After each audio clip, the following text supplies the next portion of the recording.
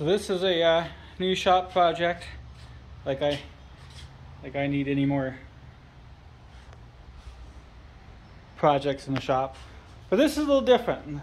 So all my videos, I've had one of a mini bike of me just riding it for a minute, but nothing ATV related or anything.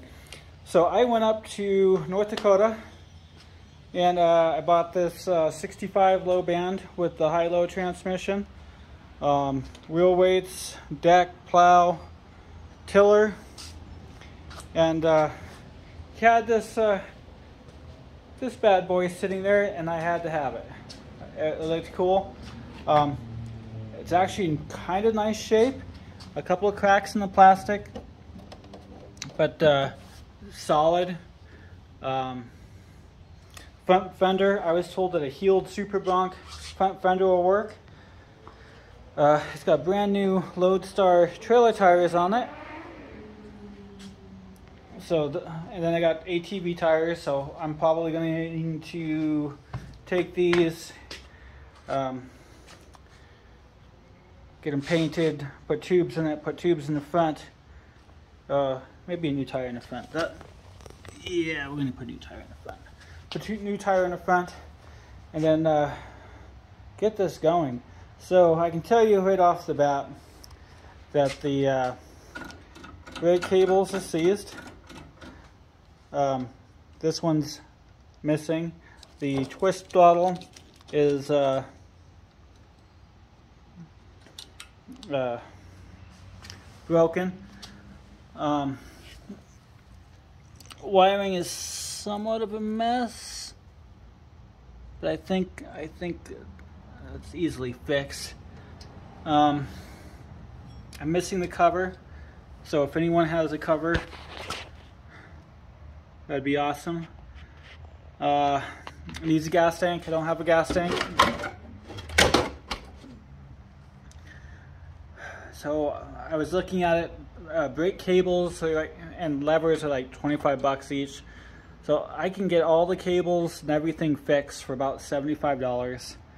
Um, gas tank, I'm probably going to use one of my spare gas tanks and make it work. And then uh,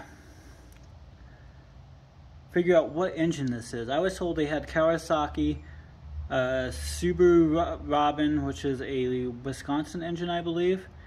Um, uh, they had a Kohler engine. I know this one's not Kohler.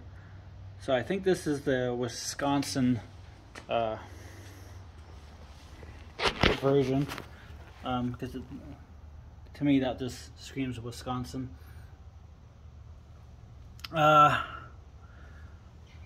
let's see.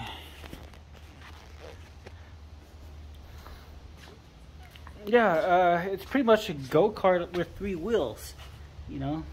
Uh, it's got shocks and a brake band and nothing complicated. And do a lot of lubrication and, and, and get it but we're not uh, we're not going for a restoration. I'll get the seat redone. I'll have my wife make me the seat, and then I'm gonna let the kids just rip it because it's not fast. But what I would love to do right now is pop this off.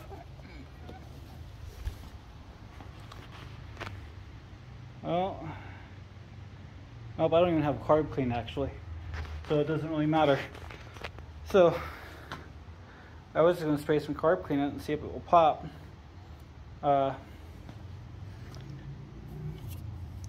light's kind of cool. I have no idea why there's two switches. We'll find out. Uh, but yeah, uh, I have no idea what year it is. Uh, I, I, know in the state of Utah, if it's older than 84, you don't need a title to get it registered for off-road. So I think it's like a late 70s, even early 80s. Uh, but yeah, this this is going to be a uh, cheap, fun project. It should be busted out on the weekend once I order parts.